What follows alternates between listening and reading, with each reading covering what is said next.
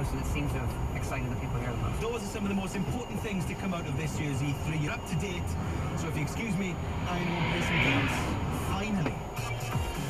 You're listening to Newsbeat. It's a minute to six. Let's go back to our main story before we leave you. In the last hour, it's been confirmed the late... This is where I fell over. I'm right smack here. and There was all people queued up, you know, to go up this. Can we go? Yeah. Uh, that guy's jumping a line. This one. Um,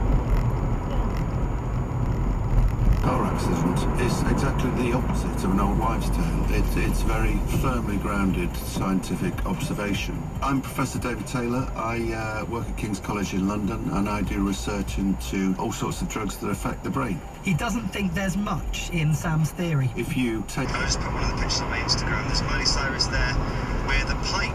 Oh, that's me there. I saw you on Twitter, yes. Um, have a look at my Insta, Real Scott Mills, if you want to have a look at that. But that's, um, I mean, the pictures everywhere, you'll find it. All of Justin Bieber's greatest hits and basically everything from all of his albums.